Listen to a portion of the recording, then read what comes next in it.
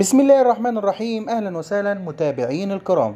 انتهى الشوط الأول من مباراة الأهلي المصري مع الوداد المغربي في إياب نصف نهائي دوري أبطال أفريقيا 2020 انتهى الشوط الأول بفوز النادي الأهلي 2 مقابل لا شيء لنادي الوداد. أحرز أهداف النادي الأهلي مروان محسن في الدقيقة آه، في أول المباراة في الدقيقة 6 تقريبا وأحرز الهدف الثاني حسين الشحات من كرة جميلة جدا جدا جدا. هجمة مرتدة. تصدى لها محمد الشناوي.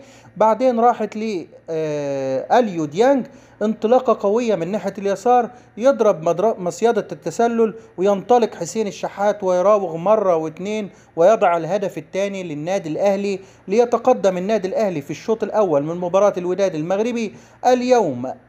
2-0 لتصبح النتيجة 4-0 مجموع المباراتين 2-0 في المباراة الأولى والشوط الأول 2-0 أصبحت النتيجة 4-0 أصبحت المهمة مستحيلة على نادي الوداد المغربي.